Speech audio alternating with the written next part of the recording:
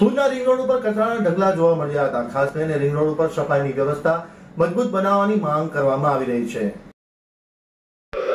ભુજના રિંગ રોડમાં હવે સફાઈ વ્યવસ્થા પુખ્ત બનાવવાની આવશ્યકતા ઊભી થઈ છે. કેટલાક રિંગ રોડ પર આડેધડ કચરાના ઢગલા જોવા મળી રહ્યા છે. આ કચરાના ઢગલાને કારણે જે રિંગ રોડની સૌંદર્યતા છે તેના પર લૂણો અને ઝાંખપ લાગી રહી છે. ખાસ કરીને ભુજના આરટીઓ રિલોકેશન સર્કલથી લઈને છેક આત્મારામ સર્કલ સુધી જતા જે રિંગ રોડની જે અવદશા જોવા મળી રહી છે તે ખૂબ જ ચિંતાજનક છે.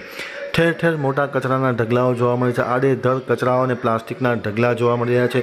આ પરિસ્થિતિમાં રિંગ રોડની જે સૌંદર્યતા છે તે બિલકુલ નષ્ટ પામી રહી છે. તાત્કાલિક અસરથી ખરેખર સફાઈ અભિયાન યોજી અને ભુજના રિંગ રોડમાં જે કચરાના ઢગલાઓ છે તે તાત્કાલિક અસરથી દૂર થાય તે ખૂબ જ જરૂરી છે, ખાસ કરીને ભૂકંપ બાદ ભુજના પુનર્વસન દરમિયાન.